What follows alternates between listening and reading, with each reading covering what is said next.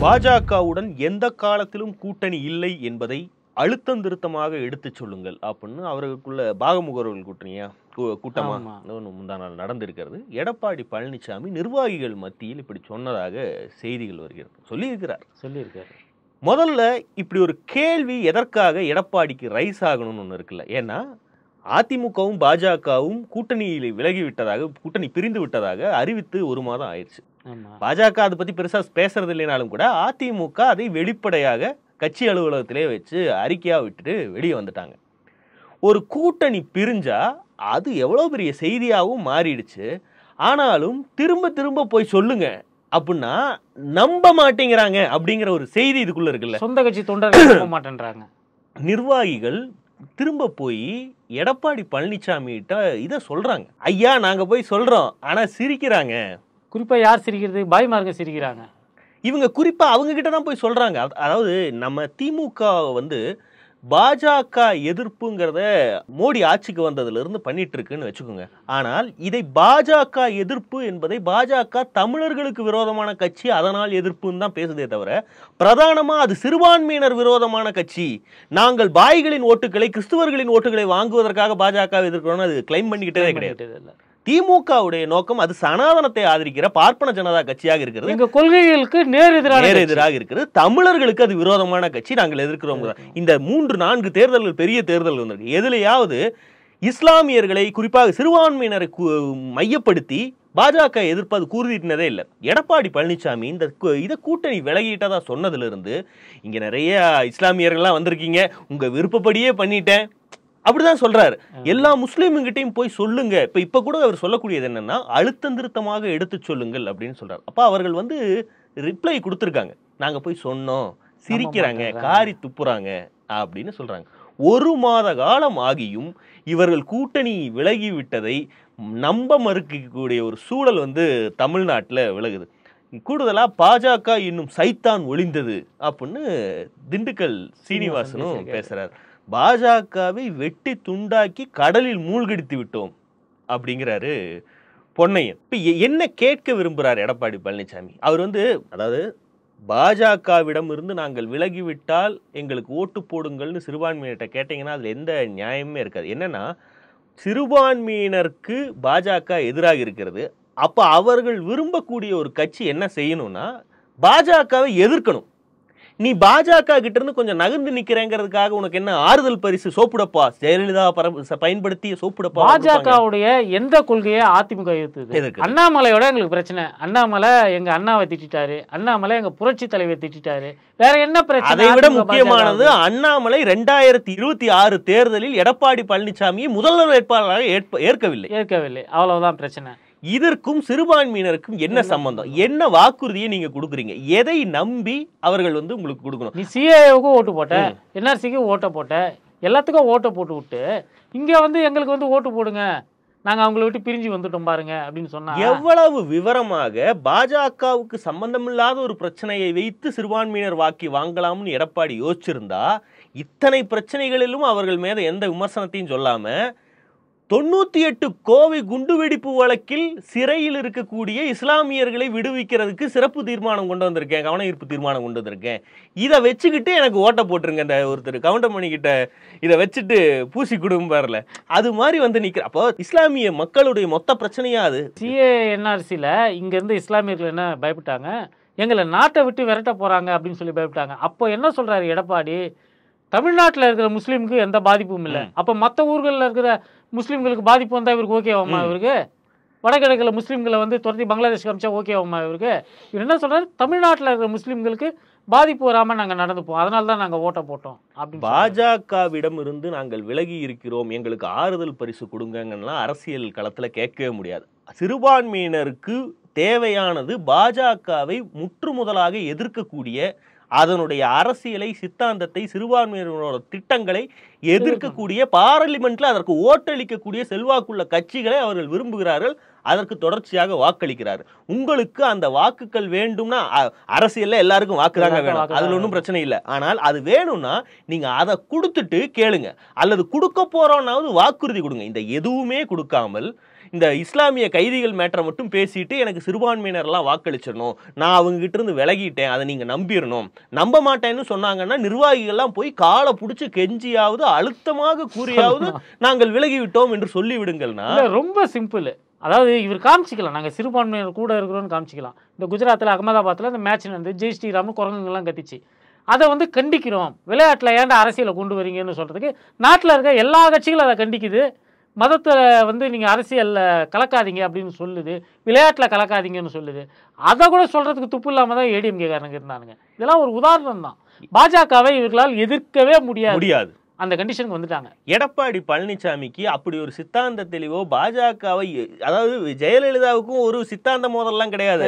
ஆனா அந்த அம்மாவுக்கு நானும் சிஎம்மா இருந்தேன் நீயும் சிஎம்மா இருந்த புரோட்டோகால்ல நீ எப்படி என்னோட பெரிய ஆளாக போச்சுங்கிறது தான். இது சிதம்பரத்து கூடயும் அந்த அம்மாவுக்கு இருந்துச்சு. ஏங்க மோடி மோடி கிட்ட கரசேவைக்கு இருந்துச்சு. செங்கல் எடுத்துன்னு போனாரு இதம்மா தானே எடுத்துட்டு போச்சு தொண்ணூத்தி ரெண்டுல சோ அதுக்கும் அந்த மாதிரியான சித்தாந்த மோதல்லாம் எதுவும் கிடையாதுனாலும் அதுக்கு ஒரு ஈகோ இருந்துச்சு. இப்படி எதுவுமே இல்லாத எடப்பாடி பழனிசாமி எதை சொல்லி பாஜகவை எதிர்ப்பது? அவருக்கு எதிர்க்கிறதுக்கான காரணமே நியாயமா வந்து பைகாட் அவருக்கு எதுவுமே இல்லை. எல்லாமே நம்ம பிடிச்சதானே செஞ்சோம். விருப்பப்பட்டு தானங்க எல்லாத்துக்கும் இணங்கணும். இப்போ வந்து மியூச்சுவல் கன்சென்ட்டோட பண்ண ஒரு விஷயத்துக்கு திடீர்னு வெளியே வந்து என்னை கரும்பு காட்டுல வச்சு கற்பழிச்சான்னு சொல்லுவதற்கு அவருக்கே கூசுது. அதனால தான் வந்து- பாக்குறப்ப இந்த சீமான் விஜயலட்சுமி பிரச்சனை இருக்கு இல்லையா? அந்த பிரச்சனை மாதிரியே இருக்கு இதுவும் கிட்டத்தட்ட. எனக்கு இதுல இருந்து இன்னொரு மேட்ரு ஒன்று போகும் சாய் தீபக்ங்கிற சங்கியை பத்தி நம்ம தொடர்ச்சியா பேசுவோம்ல. அவனுடைய சமீபத்திய வீடியோ ஒன்று கண்ணில் பட்டது. அதாவது அவன் என்ன சொல்ல வரான்னா காஷ்மீரின் பிரிவினைவாதத்தை விட திராவிட நாடு பிரிவினைவாதம் இருக்குல்ல அது ரொம்ப ரொம்ப ஆபத்தானது. Separatism and regional chauvinism, chauvinism has been entrenched in the DNA of Tamil Nadu politics by Dravidianism. That's a cancer which is worse than Kashmiri separatism because Kashmiri separatism at least has an AK-47 in hand, so it's clear. Dravidian separatism doesn't wield AK-47; it wields the pen, oh. and it and it uses pop culture, theater, Poetry, right? Yes, that- that's how they've operated because they have normalized hatred through the pen, so people don't understand how visceral it actually is on the streets. நமக்கு மேலோட்டமாக பார்ப்பதற்கு காஷ்மீர் பயங்கரவாதிகள் அப்படி அப்படியான்னு தோணலாம் தமிழ்நாட்டில் இருக்கக்கூடிய இந்த திராவிட இயக்க ஆதரவாளர்கள் திமுகவினர் அவர்கள் செய்து கொண்டிருக்கக்கூடிய அந்த பிரிவினைவாதம் வந்து மிக கொடூரமானது. அது அதை எதை நம்ம நமக்கு பார்க்கும்போது நமக்கு கூஸ் பம்பாக இருக்கும். என்னென்னா அவன் சொல்லக்கூடிய விஷயம் இதை அவர்கள் பேனாவால் சாதிக்கிறார்கள். அதுக்கு ஒரு பெரிய பொ- உள்ளர்த்தம் ஒன்று இருக்குது என்னென்னா ஆயுதத்தை இங்கே தூக்கி இருக்க வேண்டும்னு அவனுங்க உள்ளார விரும்புறாங்க. அப்படி நடந்திருந்தால் நம்மளை வந்து அதே ஆயுதத்தால ஈஸியா அடிச்சு கொண்டு சோழியை முடிச்சு கொடுக்க முடியும். பஞ்சாப்ல என்ன பண்ணானுங்களோ காஷ்மீர்ல என்ன பண்ணானுங்களோ வடகிழக்கு மாநிலங்கள் என்ன பண்ணாங்களோ அது தமிழ்நாட்டுக்கு நிகழ்ந்திருக்கும். அதைத்தான் அவனுங்க தமிழ்நாட்டுக்கு செய்ய விரும்புகிறார்கள். இந்த நூறாண்டு காலமும் வெறும் அதாவது என்னதான் பேசினாலும் கத்தி வச்சுக்கன்னு தான் சொல்லுவாரே தவிர பெரியாரு போய் அவனை குத்துன்னு சொல்ல மாட்டாரு. அவர் ரொம்ப இது இது நடக்கும்னு அவங்களுக்கு எல்லாருக்கும் தெரிஞ்சிருக்கு.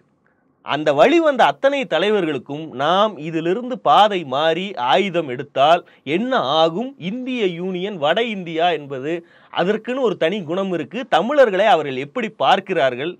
நாம ஒரு சின்ன தவறு அது மாதிரி செய்யணும்னு விரும்புகிறார்கள். அப்படி நடந்தால் இப்ப அவன் சொல்றான் பாருங்க காஷ்மீர் மாதிரி இல்ல. அவனுங்க கன் எடுத்துட்டானுங்க. இவனுங்க பேனாவாலேயே அப்படி ஒரு வெறுப்பை உண்டாக்கி யார் மேல வெறுப்பு உண்டாக்கணும்?